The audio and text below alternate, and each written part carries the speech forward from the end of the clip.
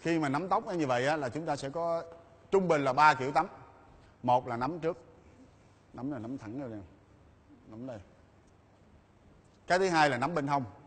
Nó bấu ở đây nó đi. Và cái thứ ba là nó nắm bật như này nó bật ngửa cái đầu ra. Ngửa cái đầu ra luôn. Nắm mà nó lôi ra nè. Đó là cái cách thứ ba. Cả ba cái mình đều có một cái chú ý quan trọng là không bao giờ mình đi ngược lại cái lực của người ta. Và cái thứ hai trong cái trường hợp này á là cái tay để lên thôi không có nắm, để lên thôi cái tay mình giữ đây nè. Cái tay để lên. Cái lực nó đi xéo xuống đây. Cắm lại. Hai cái lực nó đi như thế này. Cái thứ hai là nếu mà người ta nắm bên hông, tầm nắm bên hông giữ luôn. Cái tay mình bám vô đây.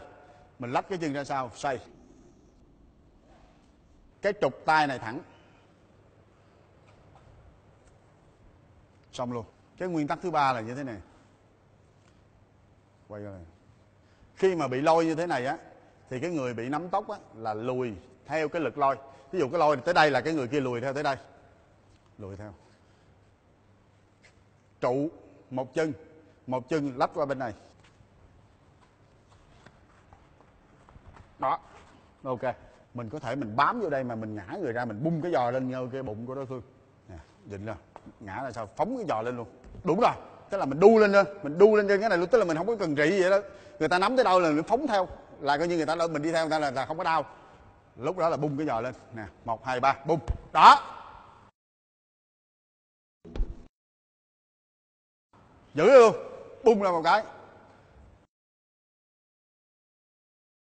Chuẩn bị. Qua.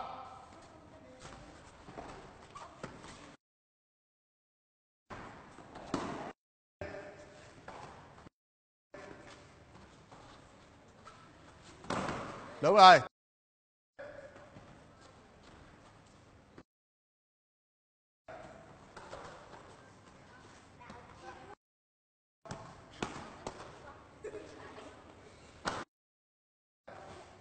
Lên.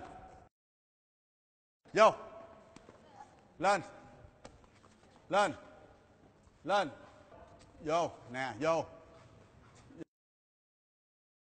Gần gần. Vô. Yo. Yo.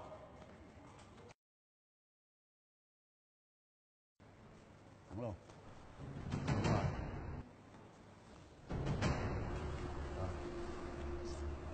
đúng rồi. Lên đúng rồi.